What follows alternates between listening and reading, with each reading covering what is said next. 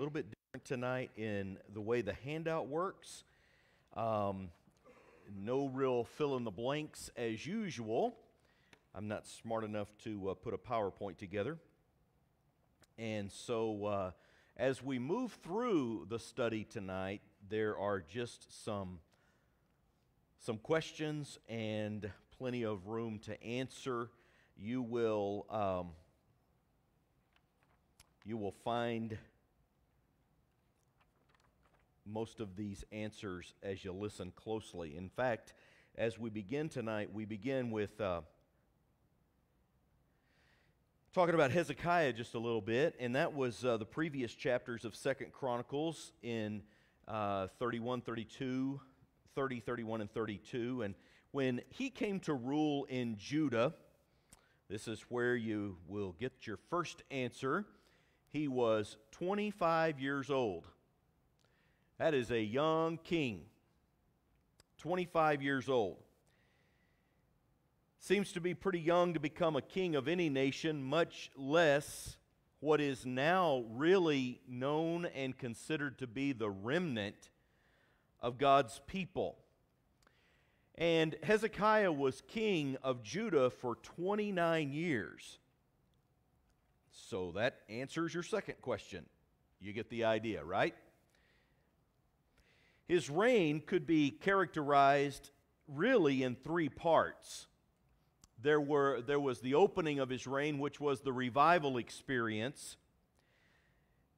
There was his faith filled resistance to the enemy as Sennacherib, the king of Assyria, came knocking and ultimately sent his spokesperson by the name of Rabshakeh to intimidate them and to just hopefully get them to say, hey, we give up.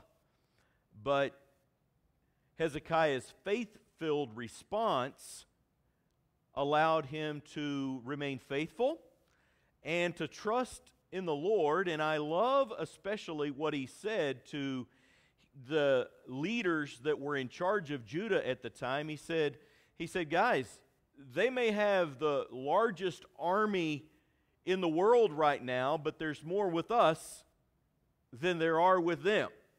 And so we need to always remember that, you know, we're in touch with the one who's in charge.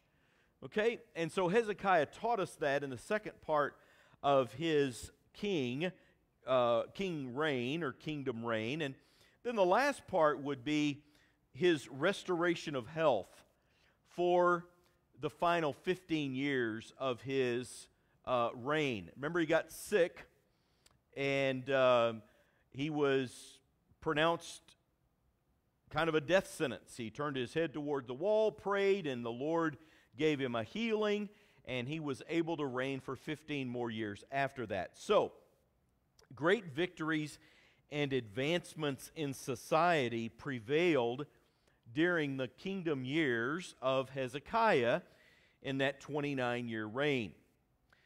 Now, as Hezekiah's days are coming to an end, the nation of Babylon is beginning to make some noise on the world stage. While Assyria is still in power, their days are numbered. They began the ruling, or began to be the ruling nation of the world, and did so for about 200 years and their capital city was none other than Nineveh. And Nineveh is in modern day Iraq, but it is one of those cities that is kind of been lost. And it's only been in recent years that there's been any archaeological digs to find the truth about Nineveh. But everything that's been found is biblically correct, especially if you go into the book of Jonah, where he said it was a three days journey to walk across it, and that's what they found. This city was huge. And so Assyria, with that being the capital city, was also known as being very large, very intimidating. However, interestingly enough, on the world history stage, when, when Babylon came in and overran Assyria, you never hear about them again. I mean, I guess when you're going to beat somebody, beat them bad, because that's exactly what happened. and uh, they really just fell off the map completely. Ultimately, of course, Babylon leading the charge to destroy this great capital city known as Nineveh. So, who's the world power now? With uh, Hezekiah turning the reins over to his son Manasseh, it would be Assyria. And who is the world power coming in the future? That would be Babylon. So, as Hezekiah passes off the scene in 686 BC, we are heading quickly into the time of ultimate Babylonian rule. Uh, by the way, it was in 612 BC that uh, the alliance of nations led by Babylon overcame the Assyrian Empire. All interesting stuff, especially as we get toward biblically thinking about how important Babylon was to even modern day history because of the writing of the book of Daniel during that time and then ultimately into the times of the Medes and the Persians. So Judah was already uh, preparing their next king, Manasseh. If you put the dates together, we've done this a few times throughout our, our course of this study. If you put the dates together, the dates of Manasseh's reign and the dates of Hezekiah's reign overlap for a few years. Uh, it is because that he was being groomed to be the next king, even though he was um, quite young because he began his training, the Bible tells us, at the ripe old age of 12. That's right, fresh out of Little League, Manasseh, according to chapter 33, verse 1, he was 12 years old when he began to reign, or had the You're the next king in line title. Again, Hezekiah is still alive, but Manasseh is being groomed to be the next king. You thought 25 was young. Boy, we're really going backwards. Wait till we get to Josiah in a couple of Kings as we wrap up this study. But his training, Manasseh's training, began in the final nine to ten years of Hezekiah's reign, and that would have been between 695 and 686 BC. It was during these years he witnessed his dad fall away from God, then repent, and then he did a very foolish thing in opening up the temple to the Babylonians. Why is that foolish? Because Babylon's going to be the ones that come on in. In fact, they're around 100 years away now from when Babylon came in and overran Judah, taking uh, the temple down, destroying Jerusalem. It's when they began to carry away the captives. That's where Daniel, Hananiah, Azariah, and Mishael become kind of in the, at the forefront. Just horrific things happen. And it, if, if, if I'm going to use the Bible as a, as a book of literature, alone, which I don't, but if I was, I would say that what Hezekiah does here in chapter 32, we're going to look at it here in verses 24 through 29. Um, if we look at it, these verses are a type of foreshadowing for what is ultimately coming with the Babylonians. Chapter 32, verse 24, the Bible says, In those days Hezekiah was sick unto death. He prayed to the Lord and spake unto him, and he gave him a sign. Hezekiah rendered not again according to the benefit done for him, for his heart was lifted up. Therefore there was wrath upon him and upon Judah and Jerusalem. So even after he was sick, he didn't really come back to the Lord and, and thank the Lord so much. Notwithstanding, verse 26 says, Hezekiah humbled himself for the pride of his heart, both he and the inhabitants of Jerusalem, so that the wrath of the Lord came not upon them in the days of Hezekiah. So again, we see that there was a, a fall away, a repentance, and then if you flip over very quickly to 2 Kings chapter 20, 2 Kings chapter 20, verse 12 and following, we find what he does with the Babylonians. At that time, this is now late in the reign of the king. Likely Manasseh is being groomed to be the next king as a young boy, literally a teenager, very impressionable at this time, obviously. At that time, um, shall we give this name a shot? Berodach Baladan and the son of Baladan, king of Babylon, sent letters to the, uh, and a present to Hezekiah, for he had heard that Hezekiah had been sick. Hezekiah hearkened unto them and showed them, he opened up the house of his precious things the silver, the gold, the spices, the precious ointment, and all the house of his armor, and all that was found in his treasuries. There was nothing in the house nor in his dominion that Hezekiah showed them not. So, get this the richest nations of the day, when they opened themselves up, more powerful nations were going to seek after those riches of the weaker nations.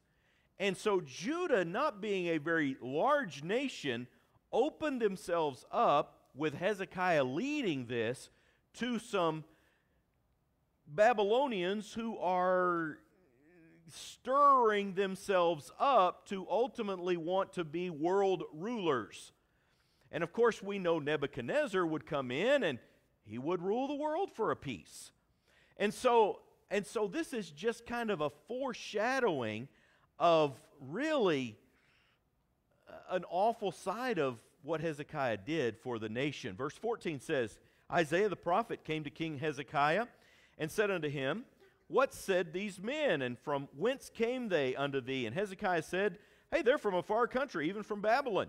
He said, What have they seen in, the ho- in thine house? And Hezekiah answered, All the things that are in mine house have they seen. There's nothing among my treasures that I've not showed them. Isaiah said to, he- or rather, yeah, and Isaiah said to Hezekiah, Hear the word of the Lord. Behold, the days come that all that is in thine house and that which thy fathers have laid up in store unto this day shall be carried away to Babylon.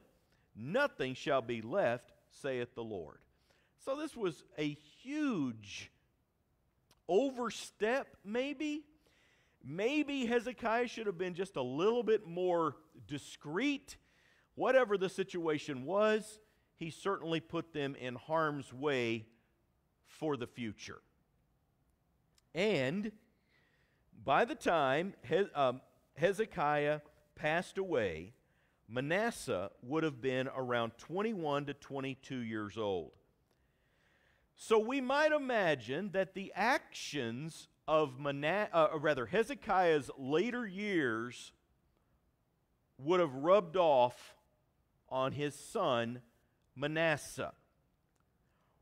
And we can say that the thing that impressed him most about his dad was his earthly fortune and his earthly prominence. So, the key ages for Manasseh are, of course, 12 when he began to be groomed to be king, and then 21 or 22 when he actually became the king of Judah.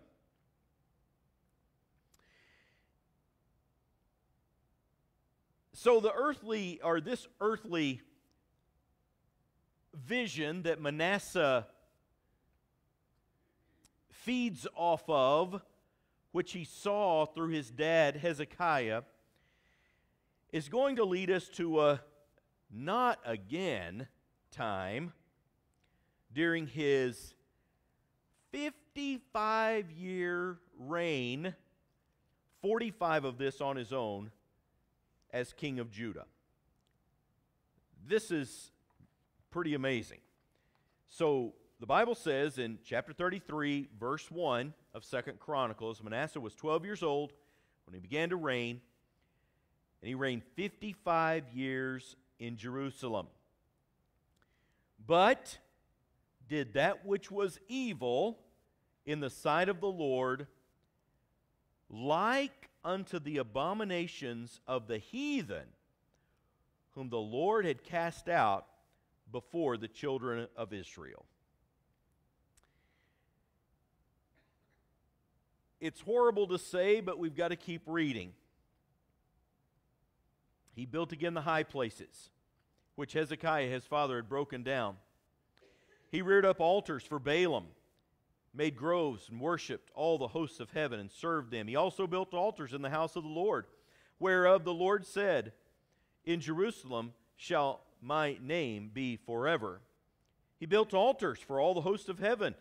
In the two courts of the house of the Lord, he caused the children, his children, to pass through the fire in the valley of Hinnom. Here we go again with child sacrifice.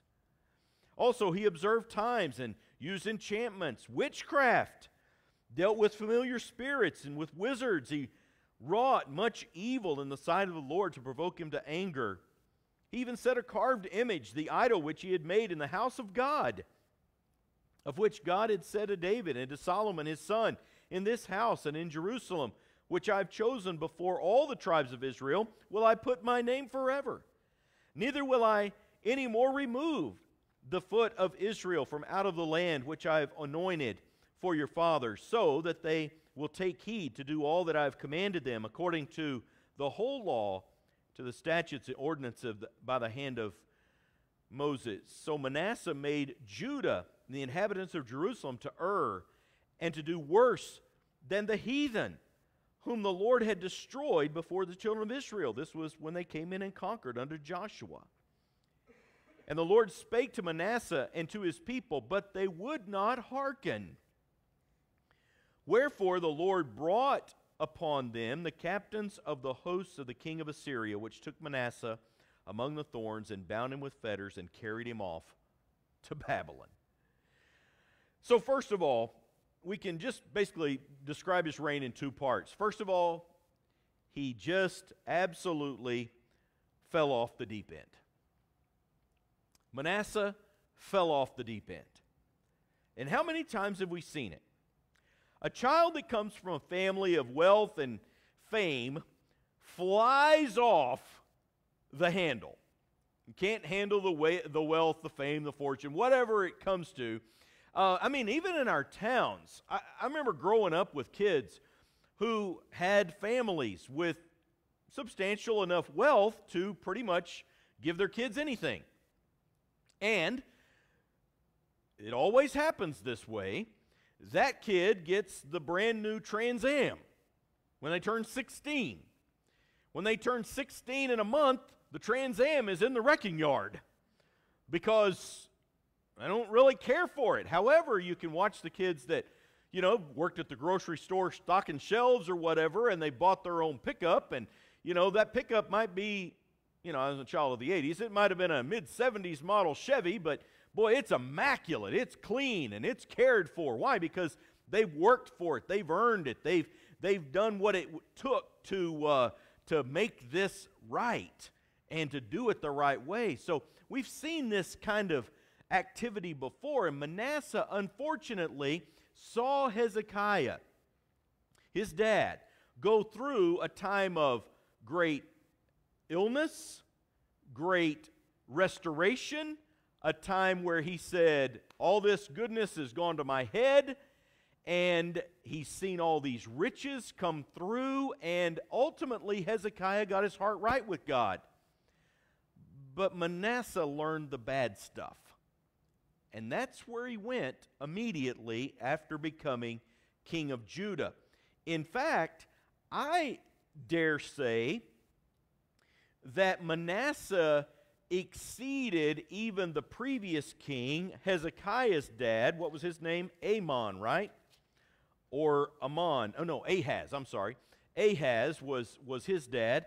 And Ahaz went off the rails, but goodness, not like Manasseh is doing. Manasseh had been groomed under amazing privilege. And with Hezekiah's wavering back and forth, Manasseh chose to follow the back and not the forth, unfortunately. Remember, again, he was in his early 20s when his dad passed the nation to him, and this certainly afforded him some free reign. And his freedom led him down some dreadful paths to the point where I, I have a hard time even reading some of the things that he did. The child sacrifice, awful. The verse 6, I mean, he's observing the times. Uh, that means astrology type situations are going on, which leads right into enchantments, witchcraft, familiar spirits. That would be like having a seance. I don't know if you guys know that that's what we're talking about here. And with wizards, by the way, where do I stand on that? Those things are real, man. It's real stuff. The devil wants to use anything and everything to try to get our focus off of God and onto anything in the mysterious realm. How do I know that? Because I have to confess to you, it's something that's always allured me. Now, I'm not proud of that, but I'll tell you when it started. It started when I was a little kid. My great grandmother, my nana, who I love and adore, didn't come to know the Lord until she was in her 80s. And I spent a lot of time with my nana. She was pretty much the only one that could tame me when I was a little kid. And she, when I was a little kid, took my hand and did some palm reading in my hand. And she showed me a couple of things on my hand that I'll never forget. They just got in my mind. And it made me curious. And I'll just say this I've always been a pretty spiritually sensitive person. Sometimes when you're spiritually sensitive, the devil can play on that as well. And so when the kind of mysterious things start entering into my mind, I get like a little bit, okay. You know, I used to read my, my uh, uh, astrology thing every, every day. And now I didn't go by it or anything like that, but I read it because I was curious. Guys, that's something not to be messed with. And I know this about me now, and boy, I stay far and away from that sort of junk because that's what it is. And the devil looks for any little peephole to get in. And if, if Manasseh was any kind of spiritual sensitive at all, then he fell by the wayside of the devil's doings, the enchantments, the familiar spirits, all of these curious, mysterious things which he leads. He remember is the he's he's darkness and not light. And so again, this is certainly a dreadful path. And so with that, he also had the means, the money, the prosperity, because he was the king and because his dad left him a fortune, literally, to deal with. And it leads me to ask myself, how do I view prosperity? And on your handout, why does prosperity lead us so many times into great temptation? I believe it's pretty simple when you look at Manasseh. Get our eyes off the Lord and just on the stuff. And we get more consumed with the stuff than we get consumed with the Lord. You can write down your own version of that but it is certainly something that comes to mind. I also have to ask myself left in charge of my own life and decisions, how do I choose to live? Because basically, we're all kind of on our own.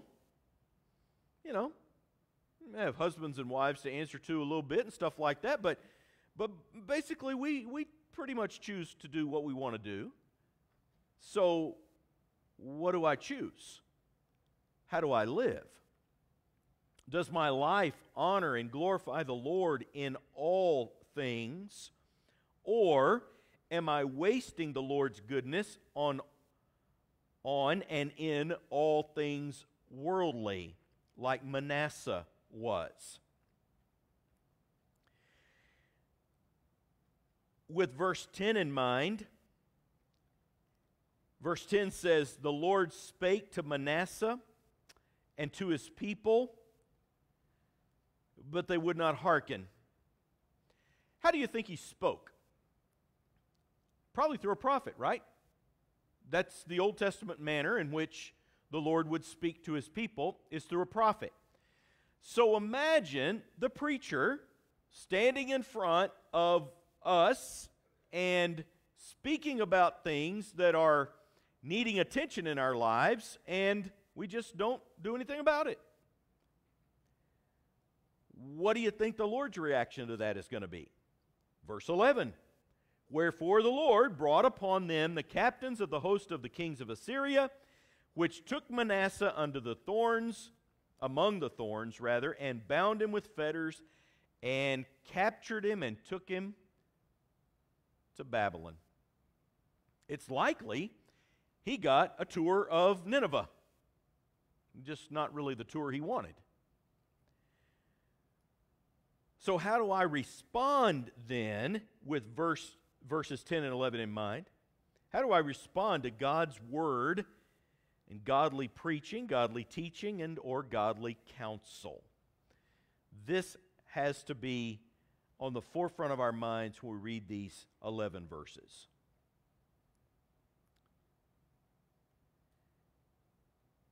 The last question on the front page here is what should our response or what should be our response to the wherefore? The wherefore is there because it has to be brought about by what the previous actions were. So, we need to know that God is paying attention. He is paying attention to our lives. The second thing about Manasseh is that he fell on his face in repentance. I'm so thankful for this. Verse 12 when he was in affliction, but why was he in affliction? Can we say these were self inflicted wounds? Possibly, pretty, pretty confidently. When he was in affliction, he besought the Lord his God, humbled himself greatly before the God of his fathers, prayed unto him, and God was entreated of him, or God heard him, heard his supplication, brought him again to Jerusalem into his kingdom. Then Manasseh knew that the Lord, he was God. So at least Manasseh got right with God. I mean, that's at least a positive here. I am thankful for that. It reminds me of Hebrews 10:31, which tells us it is a fearful thing to fall into the hands of the Lord. And that's certainly true, and I think Manasseh would tell us that. Those months, we don't even know how long he was in captivity. However long it was, a week, a month, a year, two years. I mean, he reigned for 55, so it could have been a decade that he was gone. They got his attention. I wonder sometimes what it takes to get our attention. You know, God puts his word here to get our attention. And hopefully we can relate and apply his word to our lives so that we go, huh, I don't want to make the same mistakes Manasseh made. I think I'm going to follow the good example of Hezekiah, not the poor example. So the wherefore in verse 11 should reach up and grab us around the neck. In response to Manasseh's godless ways, the living God got a hold of him. Ultimately, Manasseh paid attention. You see, when we stray away from God, His ways, and His path for us, we're going to always be he- heading down the road of consequence. And I fear today too many Christians are on this road, this road called consequence. When we think to take control of what we think is my life, we're going to quickly remember as believers in Jesus Christ, the scripture is true. I go back to Second Corinthians, or rather First Corinthians very quickly. If you want to turn there, and we're almost done. First Corinthians chapter 6 verse 19. 1 Corinthians chapter 6 verse 19. Just about the time we think it's my life, I remember this verse. Paul says, "What?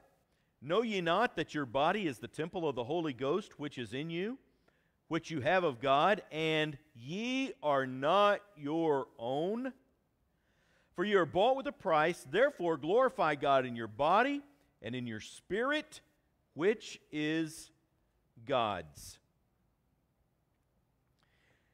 Chapter 7, verse 23, he reiterates by saying, Ye are bought with a price. Be not ye the servants of men.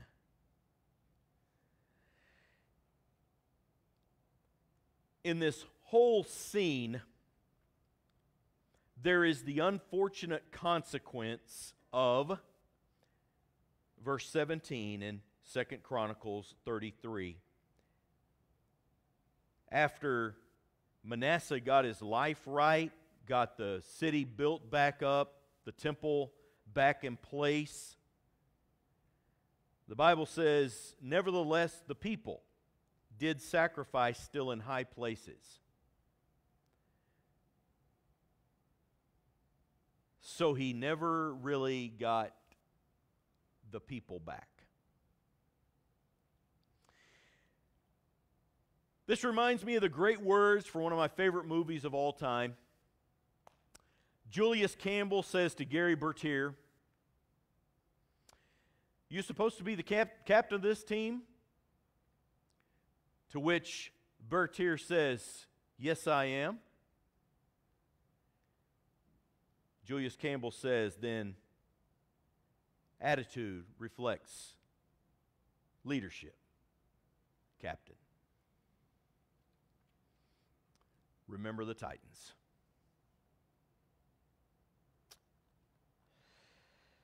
We easily see the mistakes, the flaws, the errors here. The question is, how do we apply them? How do we apply what we learn from Manasseh. Let's pray. Lord, help us to do just that. Help us to apply what we see and what your gracious Spirit shows us in opening up your scriptures to us. Thank you for your word, and I pray that we would quickly apply it exactly where we need to. In Jesus' name, amen. Didn't get to fill in all those blanks, so you can do the rest on your own.